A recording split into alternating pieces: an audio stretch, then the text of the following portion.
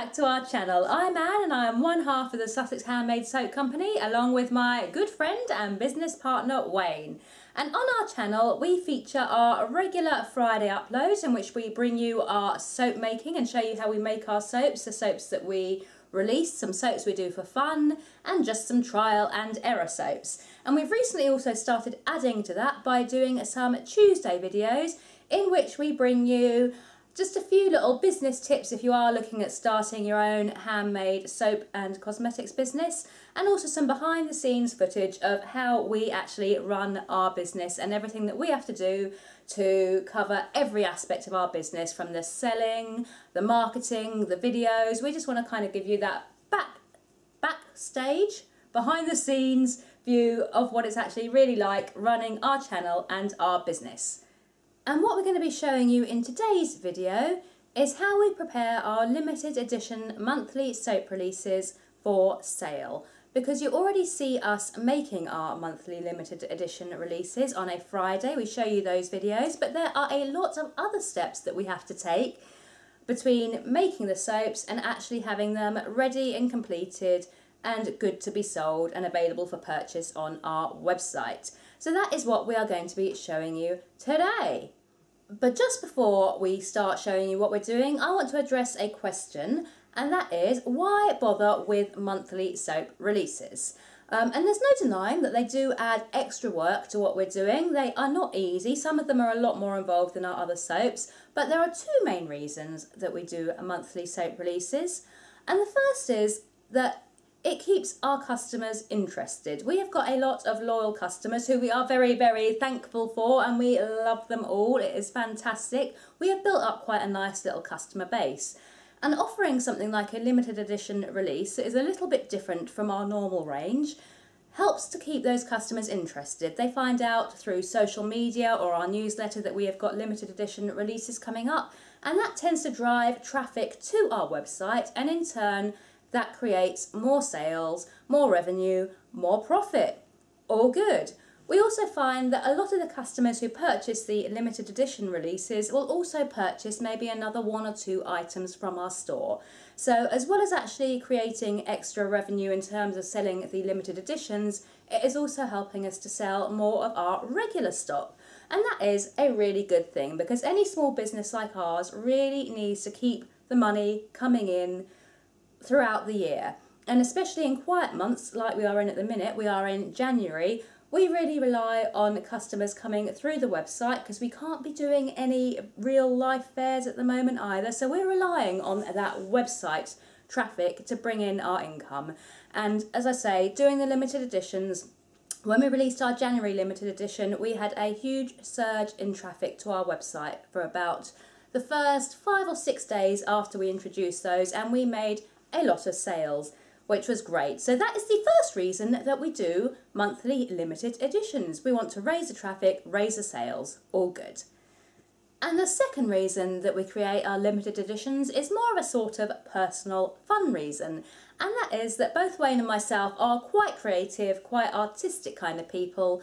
And doing the limited editions gives us a chance to have a little bit of fun, be a little bit creative, experiment with new designs, new scents, new colours, things like that. Um, and it also means that we can take a little bit more time and make these bars just that little bit extra special.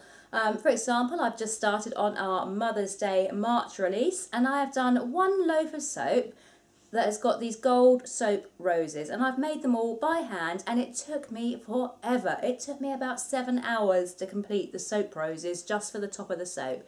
And that is not sustainable as something we could do on a regular soap that we stock all year round because it just takes too much time. Um, so we did it as a limited edition because that means I can create two loaves of that soap and then it's done. They sell out and it's gone. Um, so I've had the fun of creating the little soap roses without the constant time commitment of having to do that all the time, which would take far too long and would mean I'd have to raise the price of that bar, which would be, you know, not a great thing to do because it would be unafford not unaffordable, but it would be something you couldn't really justify spending a large amount of money on. We're talking like 20 quid a bar if I factored in time, so it would be a lot. But because it's a limited edition, we're going to keep it down at the regular price and just have fun, sell it, move on. So that is the second reason for the limited editions. It is to allow us to be artistic, creative, and have some fun with what we're doing. So now I've introduced you to what we're doing today, let me take you and show you all of the limited editions that we will be putting on our website ready for release on February the 1st, 2021. So these are all of our February limited edition soaps that we have created and today what I want to do is get these ready for their release because it's mid-January and I like to have everything kind of done well in advance. And we have got 32 of these three designs here and we've got 24 of this design here purely because it was cut a little bit differently which meant that we got less bars per loaf. So to get these ready for sale, there are a few things I need to do today. Um, today I'm going to be concentrating on getting the photos of these done. Then I'm going to be concentrating on getting them all listed on our website. They won't actually be live yet. I'm going to hide the listings, but I'm going to get them ready so that on February the 1st I can just change it from not visible to visible and they'll all be good to go. Um, the safety reports and the illegal side of actually being able to sell these illegally has already been done. That's all already in place. And if you want to learn a little bit more about what you need to be able to do in order to sell soaps legally in the UK, we do have a video on that, which I shall try and link to for you guys to watch if you want to know a little bit more about the legal side of selling. Um, then I'm going to need to concentrate on wrapping these up and getting our labels on them. We've already created the labels for these, all the labelling has already been done, so I've got those labels and I just need to package up the soaps, get the labels on them, and then they shall be sorted.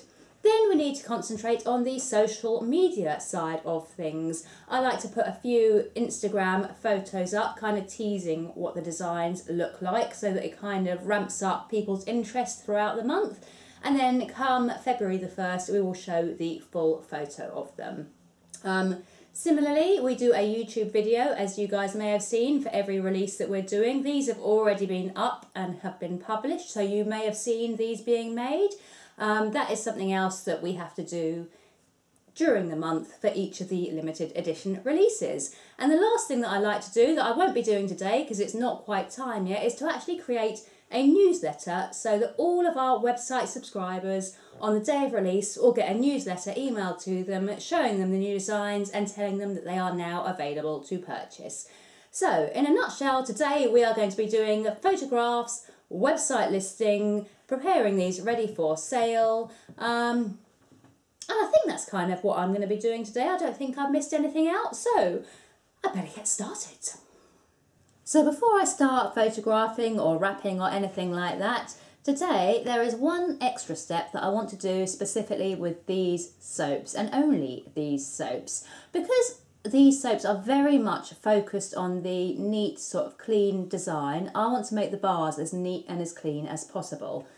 And what I'm going to do is take a potato peeler and I'm just going to neaten up all of the edges. And I know some people do do this on all of the soaps that they actually create, um, but for us that would just take too long uh, because we make an awful lot of soap. So I'm only going to do it on these ones purely because I want to make this specific design as neat and as clean and as nice as possible. So let's start potato peeling our edges. So purely taking a potato peeler and just neatening up all of the edges. And this is one of those unseen, behind the scenes moments um, that just kind of go into showing how much work really does go into just getting the soaps ready to sell because I've got 24 of these to do. So it's not going to be an especially quick job. It's not going to take too long, but it does add time just to getting it looking special, looking nice. And the worst thing is, if I hadn't shown you me doing this, anybody that purchases one would more than likely not even notice that this had been done, not even be aware that we'd done anything to the soap. So we're making a very subtle change that is just helping the final soap bar just to look really pretty.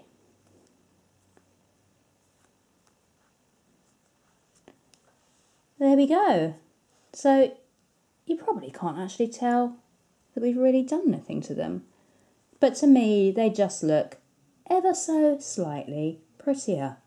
So I'm going to work my way now on to the next one and I'm just going to work my way through all of these soaps.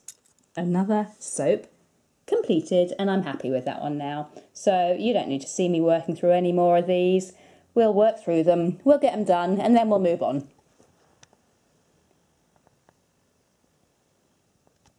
So now I need to photograph our February releases and this is the very simple setup that we use for actually doing our website images. The reason it is so simple is because it's easier then to be consistent. All I know is that when I need to do product pictures for the website, I just need to bring out our crate and our chopping board, pop the soaps on top and I'm good to go. And that is a lot easier than building really elaborate decorative sets for our soaps. So this definitely helps time-wise with uh, keeping that time cost down and just still giving us what actually ends up being a pretty nice shot. To photograph our soaps, I just use a Canon. It is a 550D. It is not a new camera by any stretch of the imagination. My ex-husband got me this and we've been split up for nearly 10 years so it is a pretty old camera but it does the job and there's no need to replace something that works perfectly fine. So just a Canon 550D and I've got some lights as well that you can't see, they are just out of shot here, but I've got some lighting just to hopefully give the soaps the best possible outcome in terms of the kind of photo that we can get. So let's photograph our February releases now. And because this is an old camera, the autofocus is actually broken, which means I need to focus everything manually, and that does take a bit more time than just being able to point and get autofocus to do the work. That one was slightly out of focus, I'm going to do another.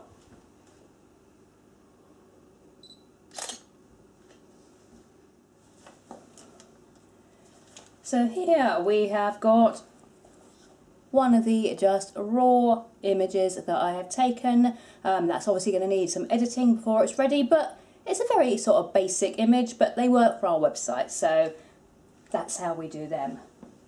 Now we get to photograph our little cactus soaps. And I love these. These are probably my favourites now, my favourite designs that we have done. Absolutely love those little cacti and really looking forward to seeing how well they sell as well. So I have to do these justice with the photos. There we go, that looks quite sweet I think. Yeah, I'm by no means a professional photographer but I can just about do our website justice. now I'm just going to zip through the green tea ones and the candy cane ones and then that'll be the images all ready for this month's soap release.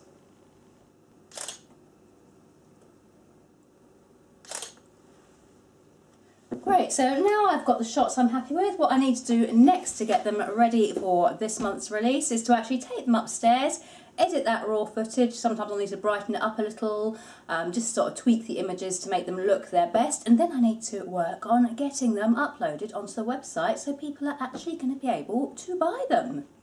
So now it's time to label and package them and we keep all our labels in here and I think this is the correct drawer for our limited edition labels. Yes it is. So we need to label now. So I'm going to start with the Fresh Mint soaps today and these are our labels that we have created for them. Um, we basically create these in Paint Shop Pro and then we actually have them printed for us by, I think it's stickershop.co.uk. We probably could print them ourselves but it would be extra time and it would be ink and we just find it generally easier to actually send them off and get them printed for us. So that is what we do. Um, when we were designing our labels, there was a couple of key points that we actually wanted to focus on that we thought would help our business. Um, and we wanted our labels to be relatively simple um, but with a nice kind of classic feel to them. We wanted them to show our location, so kind of show our locality so that people local to us know that they are getting a nice local product. And we wanted them to kind of show the handmade small nature of our business. So that is why we are the Sussex Handmade Soap Co. So we've got our county there and we've also got the little martlet here and this is the symbol of Sussex. It is on the Sussex flag, so that is tying into our location. And obviously we've got the word handmade there too. Um, and each of our different scents of soaps has a different coloured border and that kind of just brings a little bit of brightness, a little bit of colour, something to grab people's attention. Um, each bar is therefore a little bit different but still kind of within the same branding. So that is why we have designed our labels like that. Then we come to our back labels, which are very much more boring. Um, being in the UK, there are certain things that we do have to state on our labels, and that would be our ingredients using the INCI name. We need to have our contact details. We need to have the minimum weight of the product, um, the best before or the period after opening, uh, depending on what kind of product you're selling, will determine whether you need a best before date or a period after opening. With soap, it's period after opening. We also state that they are vegan friendly because all of our soaps are either vegetarian or vegan. This specific one is vegan, so we let people know because then obviously they've got a visual reference. If they are vegan, they know it's safe for them to use. And we have got the Fresh Mint name and the warnings that legally have to be on there. And if there are warnings you need to put on, they will be on your cosmetic product safety report. It will tell you what you need to write on your label. So that is our back labels. Oh, we've got our batch number as well, which I'm about to write on now. So now I'm just going through these labels and I am adding on our batch number. And the batch number basically ensures traceability. Every time we make a loaf of soap, we fill out a batch record sheet, and on that sheet, we put the date the soap was created, what's in the soap, the batch numbers from any of the ingredients that we've used, and we fill that all down, and then we allocate it a batch number. And then when we're doing the labels, we write that batch number onto the back of the label. So if there's any, if ever any problems, they can contact us with the number, we can look at the records and we can trace it all back to the manufacturers to try and find out what the problems might have been. Luckily, we've never had to do that yet, but there's always a first time for everything, so putting the correct batch number on is a very important, if a little dull, step to the labelling process. So I'm just going to start wrapping up the soaps now. This is one of those jobs that is always a little bit dull, takes quite a long time. The way we wrap our soaps does take time. Um, we are deliberately plastic free on our wrapping, so it does take a little bit longer than maybe just being able to shrink wrap a soap or something like that, but being plastic free is important to us.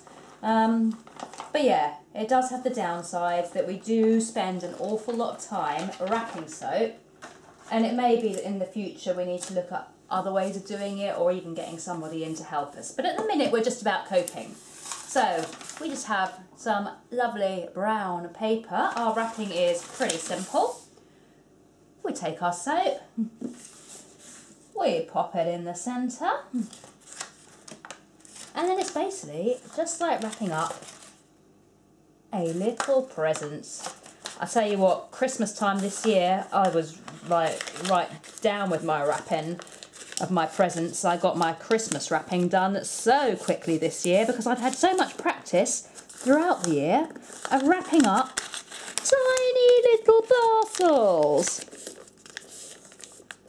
There we go. And then we get one of our back stickers. Turn it around. Carefully press it down. Now flip it over grab a front sticker, just press that down into position, and we have one wrapped soap all ready to sell. Now I just need to repeat this another 31 times and then I shall be there. So here are just some of the soaps that we have prepared for February release today. Uh, the only job I have left to do now is actually to get the listings live on the website. I know I said I was going to show you me doing that, but I think I've changed my mind because it's not the most interesting of things. This video is probably already going to be a fair length, so I might show you that another day or I might just not. One thing I will say is that we use Wix for our website. I know some people aren't keen on it. Um, if you're no good at building websites like me, then you've basically got Wix and Shopify are the two main ones in the UK, I think. I can't think of any others, but um, if you know any others, drop a comment down there. Um, some people will swear by actually building your own website. We have a friend who is a website designer who was like, don't use Wix, just build your own site. Um, but somebody like me, that's like me saying to him, don't buy soap off the shelves, just make your own soap. It's like if you don't know how to do something from scratch, it's really hard. So yeah, Wix does cost us a bit more money than perhaps building our own, and it is perhaps a little bit more difficult to work with for search engines and things like that. But in terms of the time it saves me, it is worth it because I don't have time to be learning coding and website design and stuff like that. So for our little website, Wix works fairly nicely and we haven't really ever had any problems with using it. So we shall continue to use it. Um, that is about all for today. I hope you have enjoyed our little behind the scenes guide to packaging um, preparing and getting our limited editions ready. Uh, please do drop us a comment, let us know what you think. Um, subscribe if you like our videos, hit the notification bell, that way you will be told when we have a new video published. Um, anything else? Can you think of anything else? I can't think of anything else. Um, new video up on Friday as always, and we shall hopefully see you then. Bye! Goodbye!